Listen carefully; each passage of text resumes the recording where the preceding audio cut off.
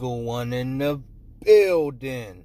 Back again with another video. So look, the Rams finally got their Super Bowl for the second time in franchise history, but they could have had another one against Tom Brady and the Patriots a little while ago, but everybody knows the story of that one. It wasn't too interesting. It was flat, almost one of the worst Super Bowls of all time, but the Rams made up for it and a whole nother team because when they lost before, they had Jared Goff, but he brought them all the way to that point.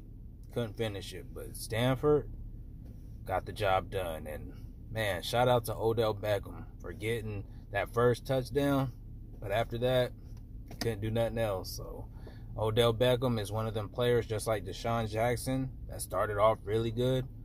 Now they're just like time is getting to them. Like they're getting older, can't catch the ball. They could catch them, but the run after catch is a little tougher for them. So, and Cooper Kupp, he is another level. Like if I thought they were gonna win, it's probably because of Cooper Kupp. Because anything Cooper Kupp gets his way, he's gonna catch it.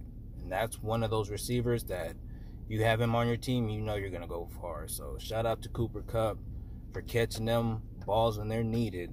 Like we need a receiver like Cooper Kupp. If we get him, it's trouble. So shout out to Rams for getting the job done.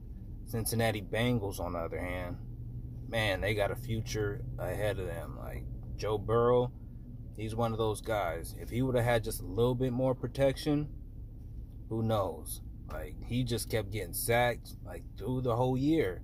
That shows what kind of quarterback he is. He keeps getting sacked. He's like one of the most sacked quarterbacks in the, the whole league this year. So that shows a lot and still made it this far. So shout out to Joe Burrow for getting the job done, getting it that far. Like he did not have to take his team to the playoffs, but guy kept getting sacked. Protection was not good, and he kept doing his best. So I give Joe Burrow his respects. And one more thing I want to talk about is Sean McVay. Like this guy, hats off to him one of the youngest quarter uh, quarterbacks, one of the youngest coaches to win a Super Bowl. Like that's a big feat. So shout out to him.